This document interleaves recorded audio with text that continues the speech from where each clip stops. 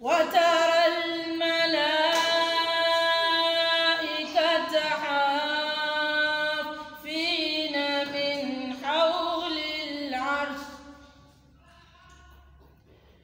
يسبحون بحمد ربهم